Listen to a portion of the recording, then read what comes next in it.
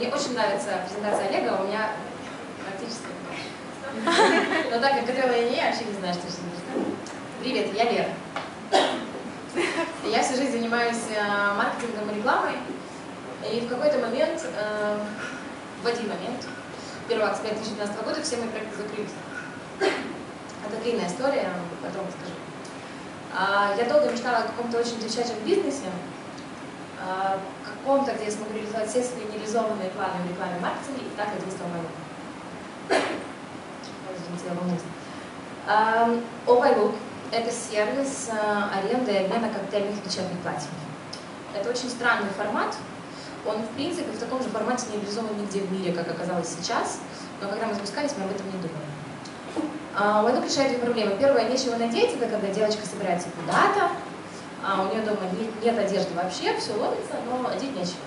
Она приходит, берет платье и счастливо идет на вечеринку. Вторая проблема, которая есть у каждой девочки, сейчас слайд покажем, это некуда повесить. То есть нам нечего надеть, но повесить нам тоже некуда. Это правда проблема. Вот, поэтому если у тебя, если ты девочка, если у тебя есть платье, коктейли вечерние, которые ты не носишь, и они в прекрасном состоянии и новенькие, ты можешь дать с помощью сервиса, и они будут себе а, делать счастливыми других девочек. А, и вот, в общем, в прошлом феврале я начала активно работать над этой идеей, над этим проектом. Мы запустили регистрационную форму. Честно вам скажу, что в Киеве я собиралась работать и думала, что человек 300 в Киеве, если будет, это будет круто. Но за две недели регистрации мы собрали около 4000 регистраций. От киевлянок я немножечко офигела и была как бы, не ожидала. И в мае мы открыли шоурум. А, опять-таки, открывая шоурум, мы понимали, что это будет наш офис, где будут храниться платья, будем там работать. Ровно с 15 мая туда начались паломничества женщин, и стало понятно, что шоурум – это неотъемлемая часть проекта, несмотря на то, что мы сайт, шоурум очень важен, и это стало отдельным маркетинговым инструментом для нас. Это наши девочки. У нас аудитория растет, и растет, растет много, круто и сильно, и я дико довольна аудиторией. Это девочки от 23 до 37-8 лет. Они берут платья на различные абсолютно тусовочки, свадьбы подружек, там, девичники, дни рождения. И, конечно же, нас любят э, публичные люди. Просто потому что не накупишься вообще никогда красной дорожке. И вот мы очень гордимся Шерон Стоун, которая в нашем платье на афише «Любовь очень городе». Тут много разных девочек. Я не помню, что следующий слайд. У нас, кстати, есть, да, и их платье в сервисе тоже есть. А, я начала работать над сайтом, ничего не понимаю про интернет, в принципе, вообще. И очень долго надеялась, что меня как-то судьба оградит от IT-технологий, э, но не оградила, поэтому за этот год я выучила такое количество новых терминов для себя, что можно съехать, в принципе, крыши. Но мы работаем над сайтом, сайт увеличивается, нам очень помогают соцсети, конечно же. А, на веб-сайте у нас зарегистрированных пользователей около 20 тысяч, чуть меньше. На Фейсбуке 26 тысяч, в Инстаграме 12 сегодня стало. А ВКонтакте 3, мы ничего не знаем, как ВКонтакте это делать, но вот он есть.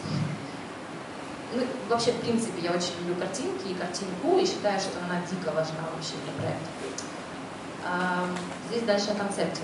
У нас есть а, дизайнерские платья, вот этих брендов, которые, которые все знают.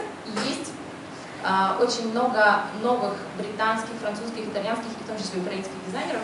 И это очень важно, потому что у MyLook я очень хочу, чтобы он не только навязывал известные какие-то штуки, но еще обучал девочек чему-то. В феврале мы запустили для себя совершенно новый формат, это Look Wedding. А, тут у нас брендовые свадебные платья для аренды на твой вот особенный день такой.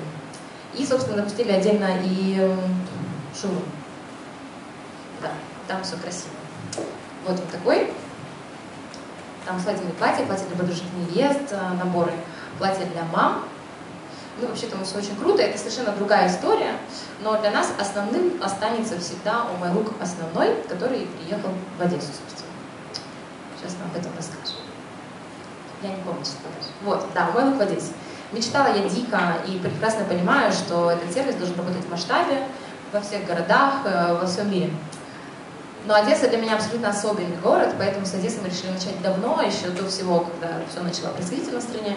И даже в феврале, когда мы подписывали договор аренды, было очень страшно, до сих пор страшно, но мы никуда как бы не денемся. Эта страничка посвящается девочка Маня и Вики, которые сделали потрясающий э, декор в нашем шоуруме. Я вот сегодня туда зашла и родилась заново, честно вам скажу. В общем, он очень красивый. Там будет платье коктейльное вечернее.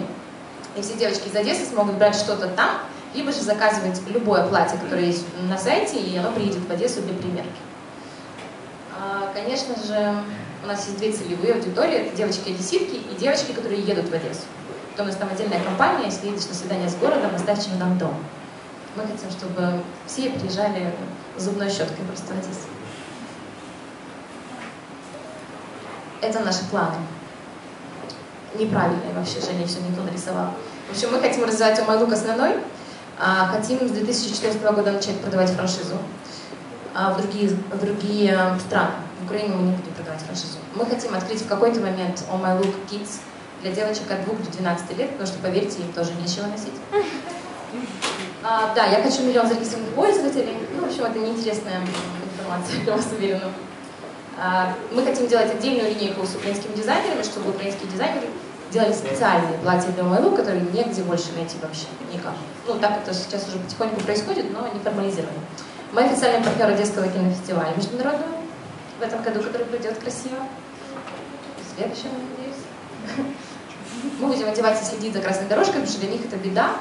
Половина людей приходит в шортах такие на красном, половина во фраках. И как-то это нужно, в общем, помочь ребятам. Ну вот и все. Спасибо.